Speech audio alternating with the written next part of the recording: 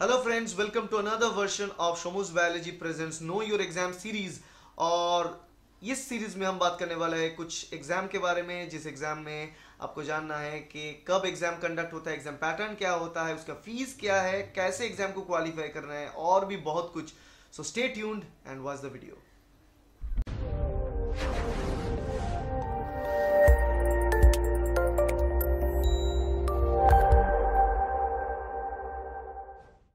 welcome back friends welcome to another video from Shomu's biology और इस video में हम बात करने वाले हैं कि इंडिया में पीएचडी के क्या क्या स्कोप है दैट मीन्स पीएचडी करने के स्कोप कैसे हैं और पीएचडी होने के बाद इंडिया में क्या क्या कर सकते हैं, ये बारे में हम बात करेंगे। So stay tuned and watch the video तो इंडिया में पीएचडी के बहुत सारे स्कोप हैं। And actually it's a growing field क्योंकि बहुत सारे लैब नया जो इंफ्रास्ट्रक्चर है, वो ग्रो कर रहा है डे बाई डे तो बहुत सारे अपॉर्चुनिटीज़ मिलेगा जो भी पीएचडी लेकर काम करना चाहते हैं पीएचडी करना चाहते हैं, उसके बाद रिसर्च काम करना चाहते हैं इंडिया में।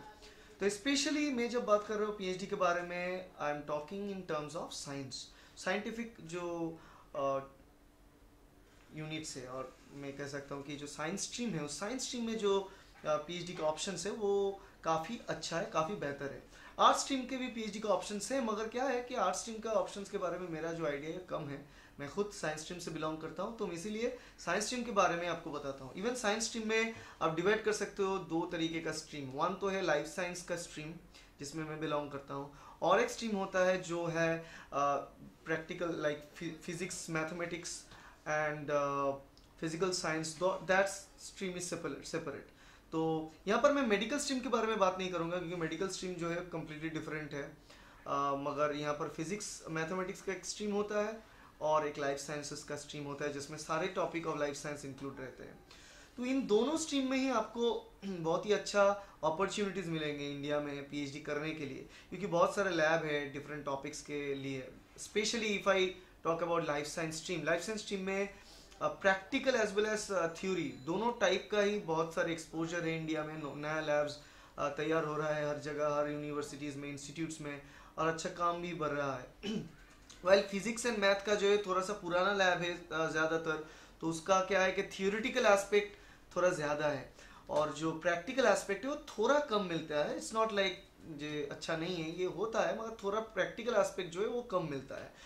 क्योंकि लाइफ साइंस में प्रैक्टिकल और थियोरिटिकल एस्पेक्ट सारे इंडियन लैब में ऑलमोस्ट इक्वल डिस्ट्रीब्यूटेड है। मगर बाहर आप देखेंगे इंडिया से बाहर जाके आप देखेंगे तो वहाँ पर क्या होता है कि फ़िज़िकल साइंस देखिए केमिकल साइंस देखिए मैथ देखेंगे। तो बात यह है कि एक्चुअली पीएचडी में होता क्या है? PhD is not about learning क्योंकि हम तो सीख लेते हैं टिल मास्टर्स तो पीएचडी होता है क्रिएटिंग नॉलेज सो हमको सीखने के साथ साथ कुछ नया आ, कुछ है वो खुद को इन्वेंट करना पड़ता है उसको डिस्कवर करना पड़ता है ऐसा कुछ एक जो आइडिया है पीएचडी का, ये आइडिया कुछ सालों से अब देखेंगे, कुछ कुछ मैं ये कह सकता हूँ कि कुछ डिकेट से वो थोड़ा सा फेंट होने वाला है इंडिया में, क्योंकि क्या हो रहा है कि जो रिसर्च हो रहा है, उस रिसर्च पे रिसर्च होता है। उसको कहते हैं रिसर्च पे रिसर्च सो एक ही फ़ील्ड में काम होता है, उसको लेके फिर से थोड़ा सा एक्सटेंशन होता है, बस, वो और एक पीएचडी हो गया और वो सेम काम लेके पुराने वाला उसको थोड़ा सा मॉडिफाई करके और एक काम हो जाता है। इससे क्या होता है कि एक्चुअली ये जो चीज़ है, ये स्टार्ट हुआ है, ये सोच के जैसे कि गाना रीमेक होता है ना तो ऐसे ये पीएचडी भी रीमेक होने लगता है। तो इसमें ये प्रॉब्लम हो जाता है कि जो ओरिजिनल फ्लेवर था पहले, जो पहले का रिसर्च का, जो यूनिक था, वो यूनिकनेस जो है धीरे धीरे घटता जाता है। तो ये एक प्रॉब्लम है, मगर ये सारे इंस्टीट्यूट में नहीं है। अगर देखें तो कुछ इंस्टीट्यूट्स कुछ लैब ऐसे हैं इंस्टीट्यूट में जो अच्छे काम अभी भी कर रहे हैं, ठीक तरीके से काम कर रहे हैं। मगर बाहर आप देखें इंडिया के तो स्पेशली अगर देखें यूरोपियन कंट्रीज़ में देखें और यूएसए में भी देखें स्पेशली यूएसए में जो प्रैक्टिकल काम है वो ज़्यादा होता है, क्योंकि वहाँ पर पीएचडी होता है ह्यूमन वेलफेयर को सामने रखकर। तो ऐसा काम हो रहा है वहाँ पर, क्योंकि जो है यूनिकनेस को उन लोग बहुत ही अच्छा प्रमोट कर रहे हैं। तो इंडिया में ये बहुत इंपॉर्टेंट है कि यूनिकनेस को प्रमोट किया जाए। एक प्रॉब्लम इंडिया का ये है कि बहुत ज़्यादा कंपटीशन हो जाता है एंट्रांस एग्ज़ाम में पीएच के लिए पीएचडी के लिए। हम जानते हैं कि पीएचडी के एंट्रांस एग्जामिनेशन मतलब कि नेशनल एलिजिबिलिटी टेस्ट देना पड़ता है। उसमें क्वालिफाइंग मार्क्स पाने के बाद ही उनको J R F that is a fellowship मिलता है फॉर पीएचडी मगर ये एक बात है कि ये जो रिसर्च ओरिएंटेड जो थिंकिंग है रिसर्च ओरिएंटेड जो एक एक स्टडी है, ये स्टडी होता है यूएस में, ये स्टडी होता है यूरोप में बट बहुत कम होता है इंडिया में। यहाँ पर थ्योरी का जो जोन है, वो बहुत ज़्यादा होता है। बिकॉज़ हमको थ्योरी बहुत अच्छा आता है सबको, मगर जो प्रैक्टिकल एप्लीकेशन है, वो बहुत वीक है। इसलिए जब हम एग्ज़ाम देने जाते हैं सी एस आई नेट और U G C net exam हमको पता चलता है कि जो एनालिटिकल क्वेश्चन होता है, हम अटेंड करने में दिक्कत होते हैं। क्योंकि वहाँ का जो आइडिया है एप्लीकेशन वाला, वो प्रैक्टिकल से डेवलप करता है। थ्योरी से कभी डेवलप नहीं करता है। तो जितना अच्छा प्रैक्टिकल करेगा कोई, जितना अच्छा प्रैक्टिकल प्रैक्टिस करेगा कोई, उसका वो एनालिटिकल पार्ट वाला आंसर का जो जगह, वो उतना ही क्लियर होगा। एक सिंपल से एक्सपेरिमेंट करके आप लोग चेक कर सकते हो कि आप वर्ल्ड के फ़ेमस जो लेक्चर्स है ना, वो सब फ्री में अवेलेबल है। वो M I T open courseware हो या फिर यूसी बर्कली का कोर्सवेयर हो, आप किसी भी कोर्सवेयर में जा सकते हैं, वहाँ का जो लाइव क्लासेस है, वो आप देख सकते हैं। उस क्लास में से रिकॉर्डेड वर्जन आप देख सकते हैं, वहाँ पर कुछ मॉड्यूल का होमवर्क दिया जाता है। तो उस होमवर्क में कुछ क्वेश्चन रहते हैं एक टॉपिक के ऊपर। उस टॉपिक का जो क्वेश्चन है, वो आप सॉल्व करने के ट्राई कीजिए। अगर आप नेट के लिए प्रिपेयर हो रहे हैं तो डेफिनेटली आप ट्राई कीजिए सॉल्व करने के लिए। तो आप देखेंगे कि कहाँ पर आप खड़े हैं। क्योंकि आपको लग रहा है कि आप एक टॉपिक पढ़ चुके हैं, उसके बारे में आपको मालूम है मगर जब आप उस क्वेश्चन को आंसर करने जाएँगे तो आपको पता चलेगा कहाँ पर लूप होल है, कहाँ पर आपने चूके उस चीज़ को पढ़ने के लिए। तो ये बहुत ही एक इंपॉर्टेंट आई ओपनर रहता है। मेरे लिए भी, मैं जब देखा था एम ओपन कोर्स वेयर का क्वेश्चन थोड़ा सा अलग होता था। वो हमारे कॉलेज के क्वेश्चन की तरह नहीं है, उतना लीनियर नहीं होता है, थोड़ा डिफरेंटली थिंक करना पड़ता है। बट वो थिंकिंग अच्छा है। अब कॉलेज में कम मार्क्स पाओ, ये अच्छा है, मगर नेट क्वालिफाई करो, ये ज़्यादा इंपॉर्टेंट है। मगर हम क्या करते हैं कॉलेज में यूनिवर्सिटी में बहुत अच्छा मार्क्स ले लेते हैं स्कोर कर लेते हैं, मगर जाके नेट में हम क्वालिफाई नहीं करते, यही प्रॉब्लम होता है।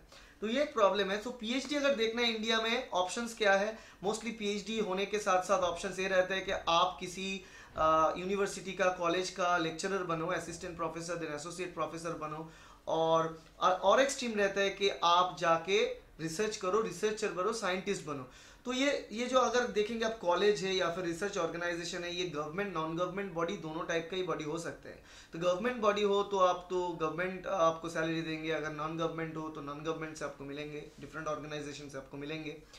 अगर गवर्नमेंट जॉब कर रहे हैं सोलली जो कि रिसर्च बेस्ड जॉब है, ऐसे भी है डीआरडीओ इसरो भेल सम ऐसे कुछ ऑर्गेनाइजेशन है भाभा एटॉमिक रिसर्च सेंटर ऐसे कुछ ऑर्गेनाइजेशन है, जहाँ पर आप डायरेक्टली ज्वाइन कर सकते हैं with your knowledge of subject आप पीएचडी करने के बाद ज्वाइन कर सकते हैं। और अगर आपके पास पीएचडी है तो आप R and D research and development बोल के एक दो जोन होते हैं डिजिग्नेशन होता है every single company have it research and development तो वो कंपनी का जो रिसर्च एंड डेवलपमेंट होता है, वहाँ पर प्रोडक्ट के लिए रिसर्च करना पड़ता है, कुछ अच्छा प्रोडक्ट लाना पड़ता है प्रोडक्ट को इम्प्रूव करना पड़ता है। उसका जो काम होता है वो भी आप कर सकते हैं इंडस्ट्री में।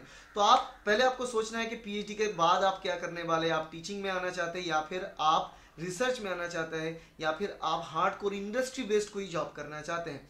कोई अगर चाहते हैं कि मैं नो स्ट्रिंग्स अटैच सिर्फ़ इंडस्ट्री बेस्ड जॉब करूँगा, मुझे हैंडसम सैलरी मिले तो वहाँ पर बेहतर है कि आर में जाए प्राइवेट कंपनी की। गवर्नमेंट में भी आरएनडी है तो वो भी अच्छा बात है, आप जा सकते हैं।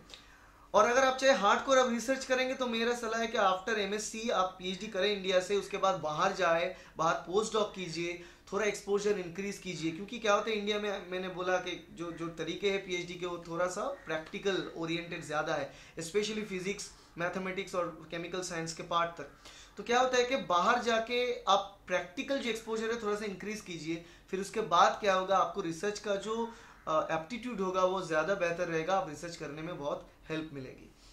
अपार्ट फ्रॉम दैट अगर आपको टीचिंग करना है टीचिंग आप college government college and university में कर सकते हैं या फिर प्राइवेट में कर सकते हैं या फिर कोई कोचिंग इंस्टीट्यूट में कर सकते हैं। कोचिंग इंस्टीट्यूट अभी का बहुत ही बड़ा एक बिज़नेस अपॉर्चुनिटी है इंडिया में, जो फ्लरिश कर रहा है डे बाई डे और अपकमिंग ईयर्स में भी बहुत इंप्रूव करेंगे।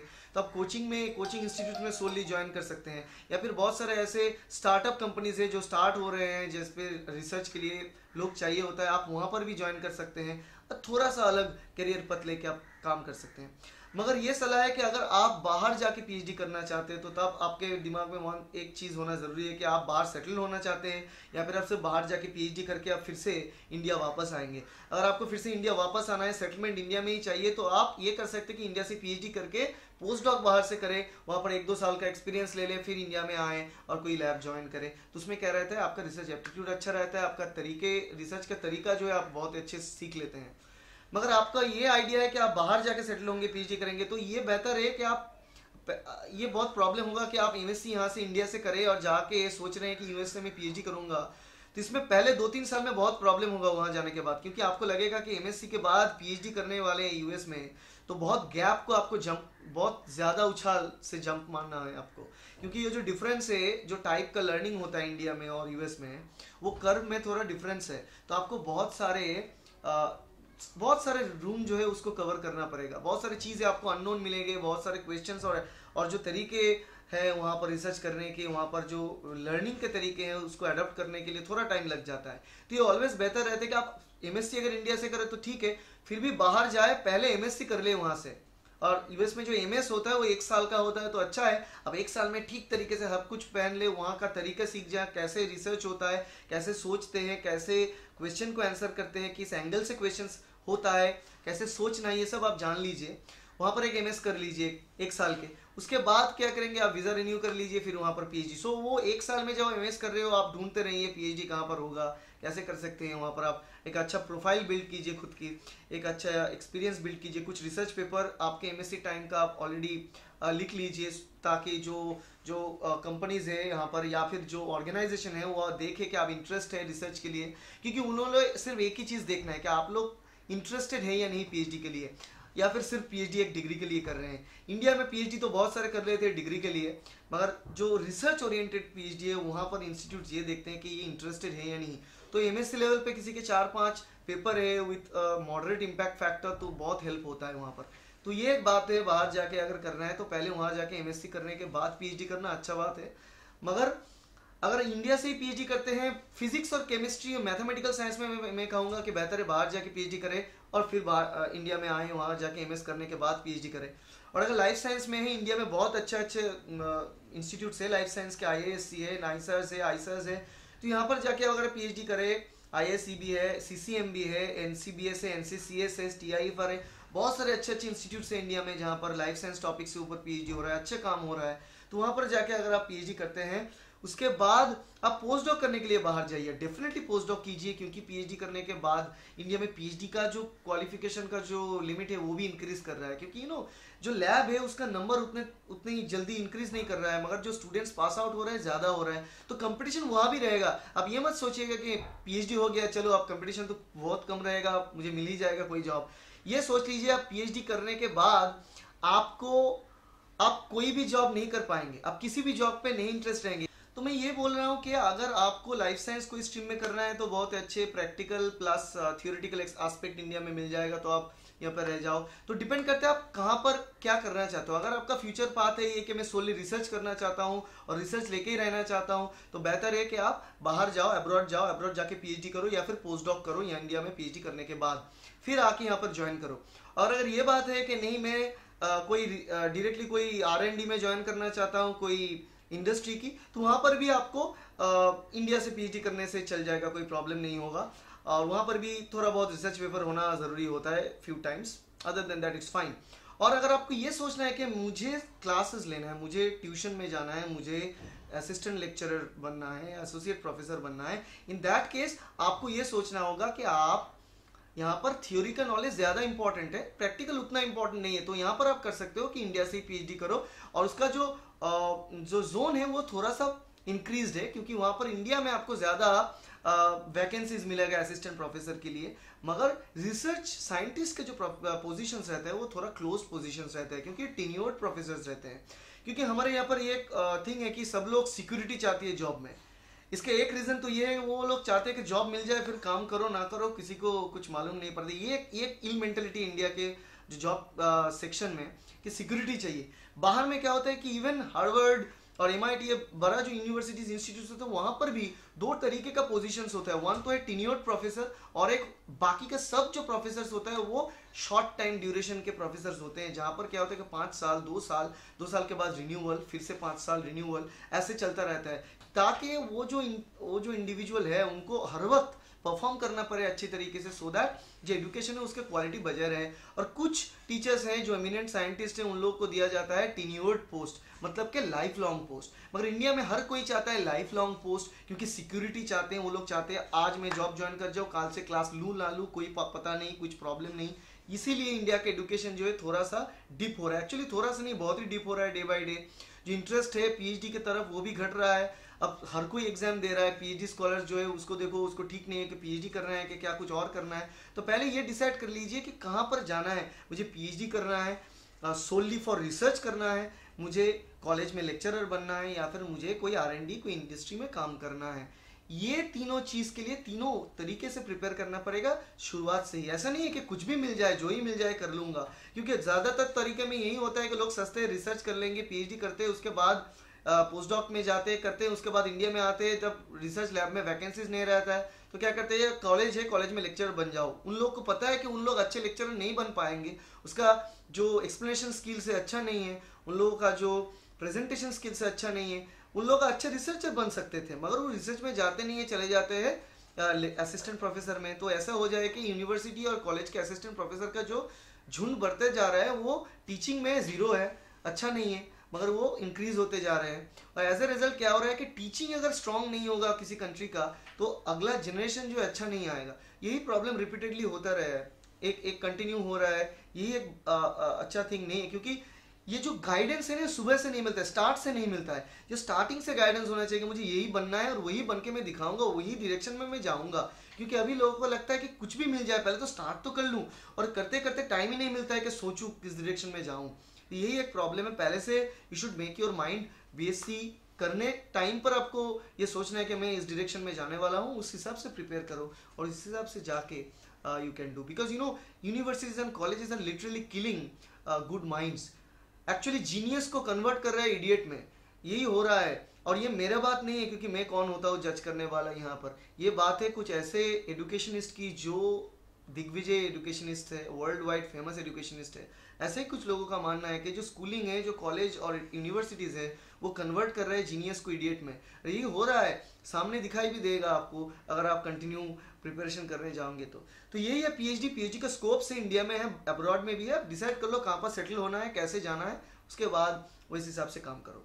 और मेरा अगला वीडियो में मैं ये बताऊँगा कि what to do after PhD PhD हो जाने के बाद एग्जैक्टली exactly क्या करना है? जाकि एक बड़ा क्वेश्चन मार्क है हर एक के दिमाग में, क्योंकि हम सोच लेते हैं कि आप पीएचडी करने के बाद तो कुछ ना कुछ मिल ही जाएगा। तो कुछ ना कुछ क्यों? इतना डेडिकेटेडली अगर पीएचडी कर सकते हो तो कुछ ना कुछ क्यों? कुछ ना कुछ की वर्षे में मत रहो। ये सोचो कि पीएचडी करने के बाद कुछ अच्छा मिले, कैसे मिले, क्या करना है? ओके सो होप ये वीडियो आप लोगों को पसंद होगा। तो अगर आप वीडियो से हेल्प मिलता है तो डेफिनेटली सब्सक्राइब कीजिए एंड शेयर कीजिए वीडियो को। मैं इस वीडियो हिंदी में इसलिए किया क्योंकि मैक्सिमम लोगों तक मैं पहुँचना चाहता हूँ। मेरा हिंदी अच्छा नहीं है तो क्षमा कीजिएगा, हिंदी में कोई प्रॉब्लम होगा होगा तो। तो thank you very much for watching the video if you like this video please if the like button share this video with your friends and do not forget to subscribe to my channel because you'll will get turns of this informative videos yet to come